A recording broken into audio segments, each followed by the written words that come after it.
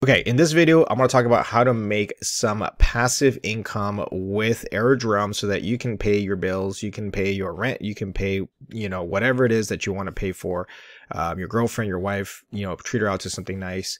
The way you're going to do this is you're going to go to Aerodrome's website um, and you're going to obviously set up a base account with a wallet.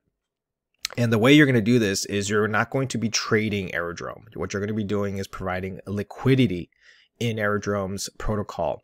Now, Aerodrome is not one of those tokens you want to trade um, because you don't make big money like that. You can scout for a couple of bucks here and there, but you're not going to be making a lot of money. Now, recall that in my last video, I talked about this. I talked about how you as a trader can be getting fees you are paying fees into both the VR voters and the LPs. And this actually gets into a flywheel.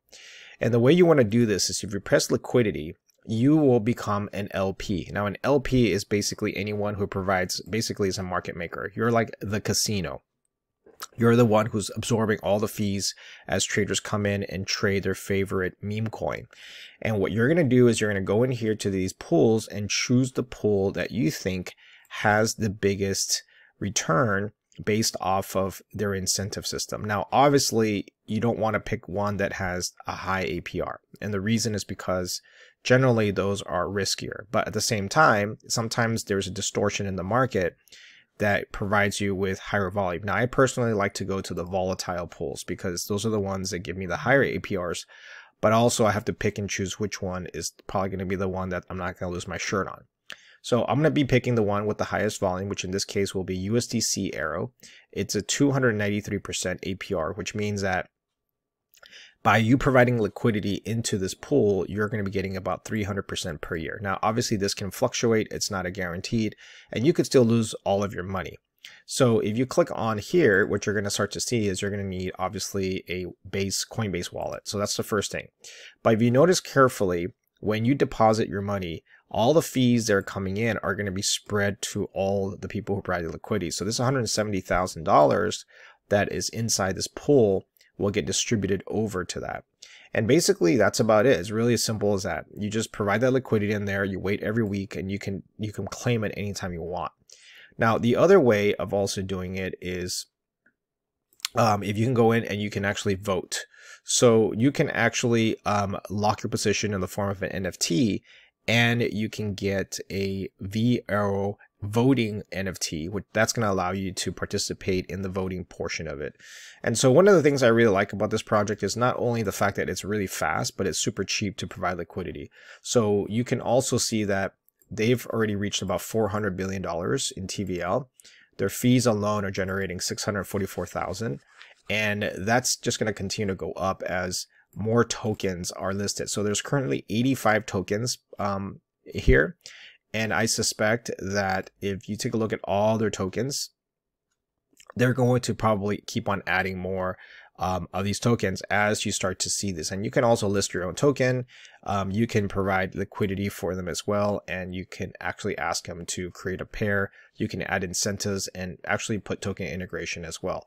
Now, obviously, this is still very speculative. Okay, so Aerodrome is still a very young project. I wouldn't necessarily, you know, put everything in there because it could go to zero. Okay. And a lot of people think that this is a sure bet. It's not necessarily a sure bet, but it's a bet on base.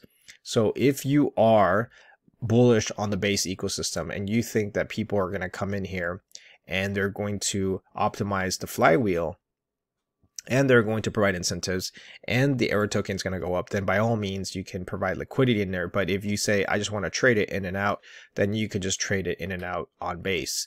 But one thing I do want to say is that the liquidity is really where the money is because this is where the token emissions themselves will provide you with that. Now, the impermanent loss, for those of you who are wondering, does exist. Uh, but the idea here is that you're not technically losing money, you're just not making as much as had you held a token. Um, and that's assuming that the project, you know, doesn't go parabolic. So the project does go parabolic, the token goes parabolic, then at that point, um, your impermanent loss is going to be much higher.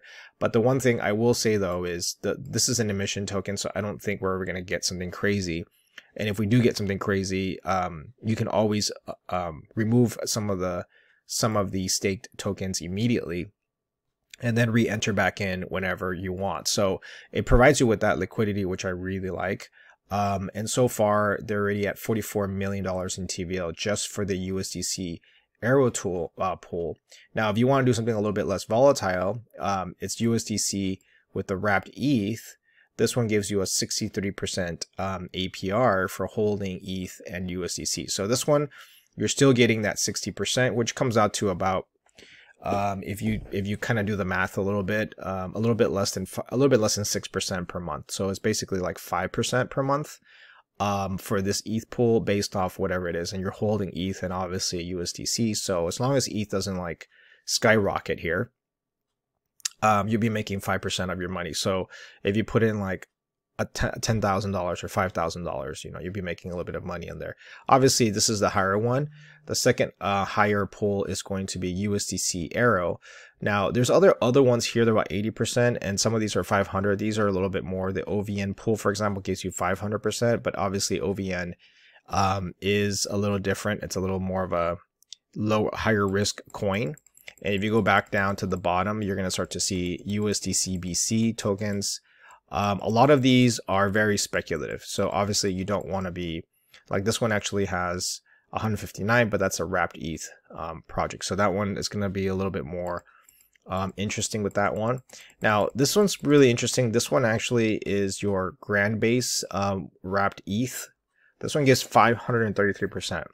So this one gives you 5x um, for holding the GB, GB token and ETH. Now, the only thing with this one is you have to make sure that GB doesn't go down the toilet. So this is actually a um, RWA um, uh, crypto. And so who knows? I, am not sure about this one, this project specifically. It could go down to zero. So this one, that's a little bit more of a higher risk. But some of the bigger ones, like Well is another one. Well is 138%. These are very interesting projects to me. I think that one's very interesting. So, you know, in terms of TVL, you want to kind of play it here to see what the tokens are. Obviously, this USDC one, this is the DOLA one, and I can kind of do some research on that later in terms of like your three DOLA USDC at 21 million to 80% APR. But I really like the AERO pool. Um, and one of the things also is the voting. Okay, so if you click here, you can you can actually tell which ones are getting voted. Usually USDC gets voted the higher one, so you're generally going to see a much higher um, APR on this one just because it's the actual original um, token for the protocol. So generally I like to stick with these um, and then speculate on some of these other smaller ones with a smaller amount obviously. But these emissions are actually very generous. So if you if you think about it for a second, um, something like, for example, like I wouldn't go to second page. I think second page would get a little bit more on the risky side. Um, and now you're dealing with smaller fees and, and, smaller emissions and things like that. So there's a little bit less incentives as you're going down here. And, and again, this is, uh, you know, you got something like this one, like the Zoomer, the AERO uh, Zoomer one. This is kind of interesting. This one's at 700% um, uh, APR for this one. And the Zoomer one is very interesting because this one is obviously a meme coin, and that's your kind of your bigger meme coins in there.